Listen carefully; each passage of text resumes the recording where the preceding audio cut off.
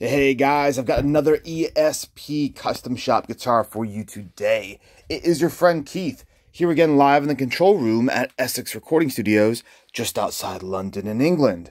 And I've got a 1994 early, super early ESP KH2 Kirk Hammett Metallica signature guitar to share with you guys. If you're new to the channel, click like, click subscribe. It's totally free. You've got a massive family waiting for you here to sit around, drool over guitars, and chat about them in the comments section. All right. Well, I just did a couple videos of some ultra rare 1993 ESP Custom Shop M2 Hammett, not KH2, M2 Hammett models. This came just after it. In fact, this has the serial number right there, K2320, ESP Custom Guitars. There's a great site that compiles all the serial numbers for these on uh, the Guitar Collector website. This guy based out in Italy. Just Google Kirk Hammett serial numbers and you'll see all of that. These early ones have the ESP tuners, the four-digit K serial number, custom guitars, and they all generally have amazing necks.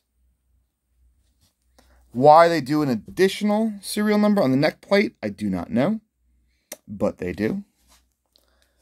This one is what I would call just a, a regular solid, good condition uh, finish. The neck is excellent. The frets all have plenty of life. I can zoom in here. A little bit of wear, a little bit of indentations, as you can see, like right there. Very minor, though. I mean, there's there's absolutely loads of life left in these. You've got the dual EMG 81 pickups, which are what uh, Kirk actually played. Floyd Rose original bridge. And your standard black with rosewood fretboard and Jolly Roger skull inlays. Reverse headstock, of course. ESP logo with the signature. Lots of little marks and things kind of peppered all over it. I would either keep it and go for the road worn look or make this the one that you're not you're not afraid to let your friends pick up and play, you know, or or this is the one you gig with. Or go ahead and refinish it. Use this one as the project and maybe get one of his famous graphics. Find an artist to do like the the Dracula finish or the Ouija finish, or have some fun with that. Maybe do an album cover. I've kind of wanted to get one of these and do like uh, the And Justice for All cover across the whole thing.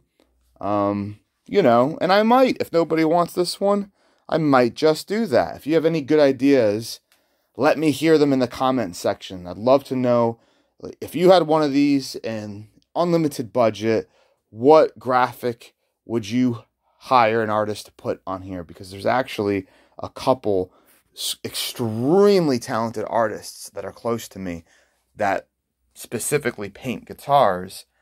And uh, I do, I have been chatting with them and I've been wanting to do something for quite some time. So give me some inspiration in the comments, guys.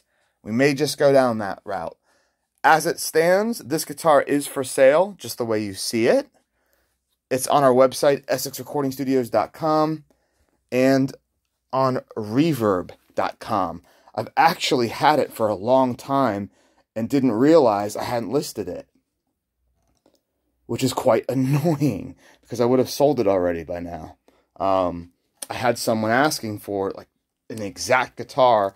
Nine, they wanted a 94, a little bit uh, road worn, they said, and they wanted they wanted that and another guitar. And I didn't think I had this one. So I just told them, no, I was out, man. But that's what happens when you have like seven ESP KH2s. I have to get a little bit more organized with my inventory.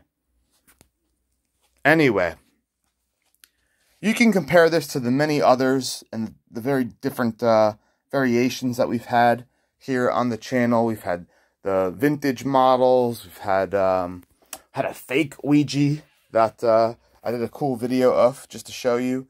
The standard black NTB, I think it's called. Neck through models. We try to have everything. We've got a few of the LTDs. We just got one of those green burst ones in. So if you're a fan of Kirk Hammett and Metallica, stick around and subscribe to this channel because you're going to see a lot of his guitars. We just followed the band on tour all over Europe. Uh, the last two dates I did were Vienna and Warsaw. It was awesome. Ghost was a killer band to open up for them. It was quite a party every show. All right, guys. This one comes with the ESP case with the metal plate, which is always nicer than the stenciled one. And just very cool to get the, I think is the first year for the signature on the headstock. The KH2s came out in some some point in 93. Um, the 293s we have are the early, super, super early variant that didn't have the signature. But regardless, you are getting what I like to call the good ones that have the proper early serial number and the custom guitars circle on the back.